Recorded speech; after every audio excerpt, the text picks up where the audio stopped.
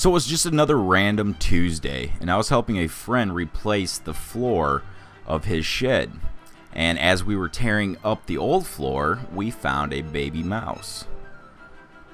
Uh, right away, I picked the baby mouse up, and he just sat in my hand. It was awesome, and he was just probably one of the cutest mice I've ever seen. I want to keep him. I'm gonna keep him. And that's exactly what I did.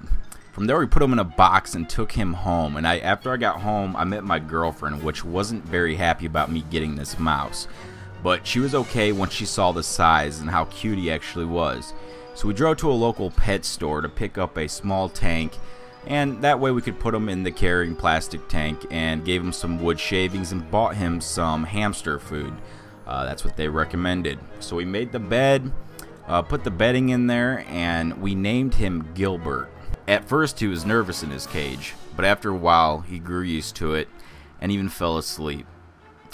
When Gilbert was awake, though, he would watch me work, and often he would try to get out to play.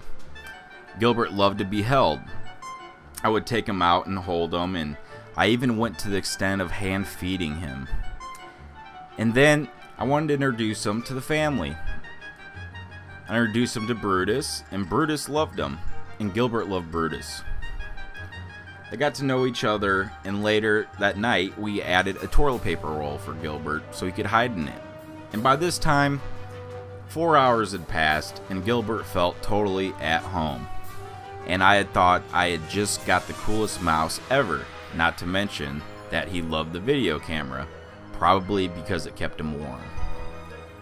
But anyway, I woke up the next morning so excited to see how Gilbert was doing and maybe to teach them some tricks. Well, this is what I found.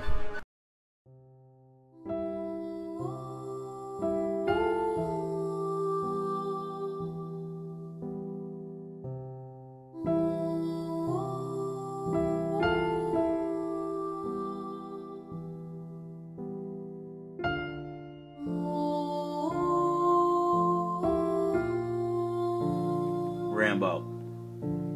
Rambo, you took my friend.